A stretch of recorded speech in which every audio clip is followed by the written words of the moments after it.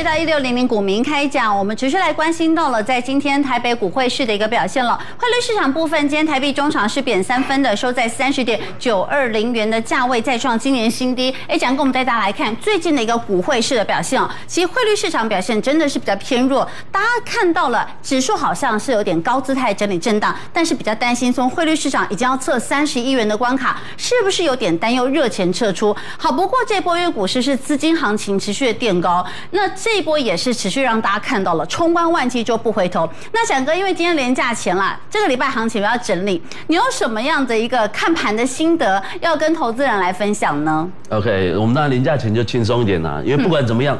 都结束了嘛，对不对？接下来就是四天放假。是，好，在放假我们就聊一些轻松的哈。我们从个电影开始啊。好，这部电影当然是一个老的片子，然后叫《关键下一秒》，中文的翻译。好，你也可以奥斯凯基演的，在里面饰演的角色是什么？就是他有超能力。嗯嗯。他超能力非常有趣，就是我可以看见两分钟后的未来。嗯，哦，是，所以其实投资的角度哈，投资里面其实时间也是一个非常重要的维度啊。哦，所以讲到这个，我们就可以从七二法则哈去哎了解一下，到底复利的威力在哪里。哦，当然首先七二法则的概念呢，其实就是速算而已啊。哦，用七十二去除以你的报酬率的数字，然后就是你资产翻倍的时间哦。这样讲呢有点复杂，我们简单，如果你五趴的年报酬，很简单，你拿七二去除以五，是不是等于十四点四？哦，意思就是十四点四年之后，你的资产本金就会翻倍。哦，好，这就是复利的效果。是。好，那当然，我们再用三十去算的话，如果你七十二去除三十，其实就二点四年嘛。哦，资产就可以翻一翻一倍。嗯。那为什么我们会用五嘞？是哦，因为五趴这个报酬率，其实我觉得对于很多简单的操作，你要一年赚到五趴，而且稳定，并不难。对哦，真的并不难。哦，所以对于一些年轻的同学啊，或者是哎，你真的有长远资金规划的，其实你用很简单的做法，一年赚五趴就够了。对。那为什么抓三十趴哈？我们讲几个呃几个例子哈。第一个，巴菲特嘛，股神嘛，大家知道，巴菲特平均年化报酬率大概二七趴多啊。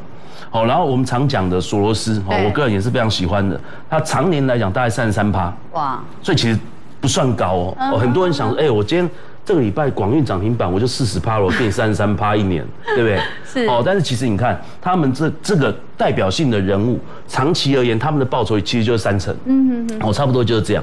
哦，所以从这个角度啊，哦，如果我们回到电影，如果我是他，我有他的能力的话，我预见两秒之后的世界，对不对？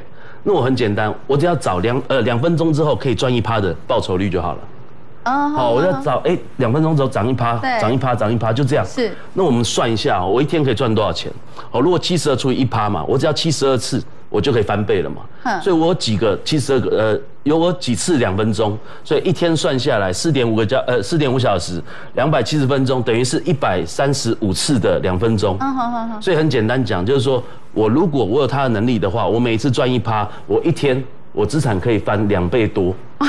哦，大概三倍左右，是是。哦，所以其实你就不要想这个事情，因为很多人还是会问说，哎，老师，你觉得等一下会怎么样？你觉得明天会怎么样？下礼拜会怎么样？对。其实我没有这个能力啊，我有的话我就已经翻倍了，是，对不对？好，所以大家还是我们是回到还是操作的概念。嗯。那从这个角度啊，我们也可以介绍一本书哈，除了看电影也可以看书了。对。好，《二十一世纪资本论》这本书哈，当然是比较艰深呐，也经济学的题材然后的书籍。哦，它里面很重要一个概念是什么？哦，就是 R 大于 G 哦，这个概念，R 是什么？资本报酬率。哦，G 是什么？经济成长率。哦，他说为什么人类的世界其实都是资本越来越集中，有钱越来越有钱。是。哦，重点就是资本的这个 R 大于 G 这个概念。经济成长率是什么？就是我真的哎那个去工作去生产，对，赚的钱，对不对？那我这里的成长率比不上什么？我拿钱去投资赚到的钱。那他的例子啊，这本书上他说，过去三十年，哦，那个全球大概是这样，这个资本报酬率大概四到五趴，嘿，好，然后 G 大概是一点六左右，一点五左右，对，所以你看，其实，在这种状况底下，哎，其实你四到五趴。你只要维持这报酬率，对，其实你就会越来越有钱，越来越有钱，越来越有钱。比只领死薪水的人，资产翻倍速度会更快了。对，哎，所以今天这一个说法非常好。是，所以意思是什么？你一定要学投资嘛。是。好，但是你可以不用高风险，但是你只要赚到四到五趴以上，嗯，就好了。那就算台湾经济增长率我们抓三趴就好。嘿，其实你五到七趴也够啊。对。哦，所以这个这个事情其实不难。是。OK，那我们就。对于这个报酬率先有一个比较合理的认知啊。是。好，那再来我们就讲说，回到交易的逻辑。哦，今天这个公式出来的时候，金轩说是不是化学课？哦，这什么东西？哦，这化学公式吗？对，这是高中数学哈，这是高中数学，很简单，期望值的概念啊。我们看这几个数字哈，这当然是期望值嘛。W 什么？赢的钱。好，L 是什么？输的钱。嗯哼。然后 P 是什么？P 是胜率。好，然后一减 P 就是你失败率嘛。好，就是它。对。OK，然后再来 C 就是交易成本。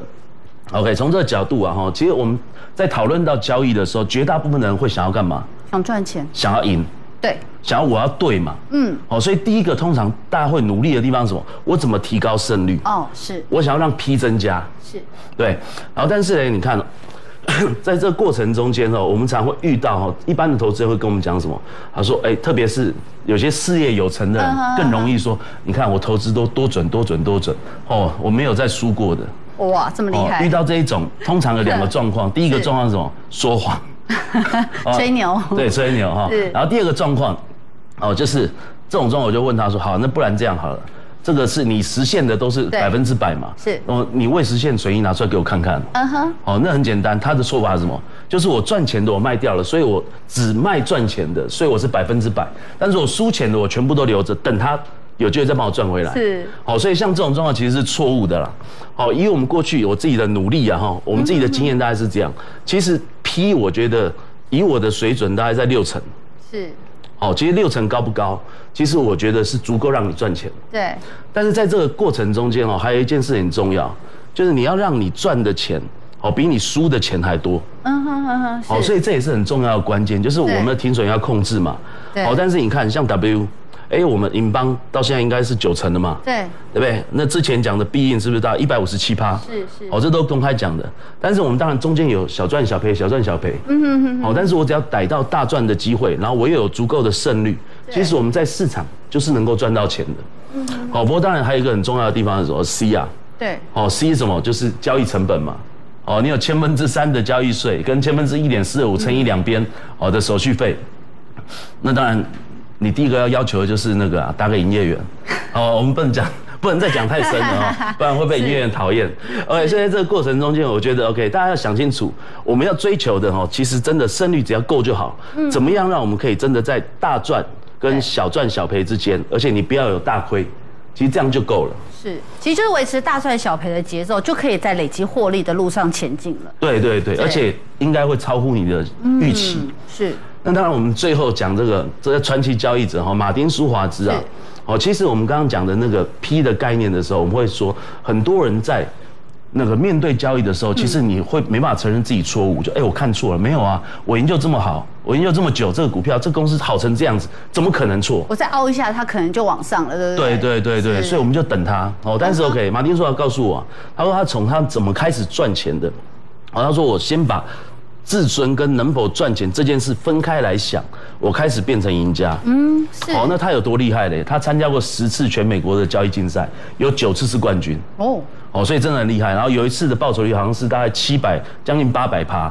哦，所以这真的是传奇交易者。嗯。然后所以他说怎么样成为赢家，就是我能接受错误开始。是。好，所以在这这有点哲学了哈。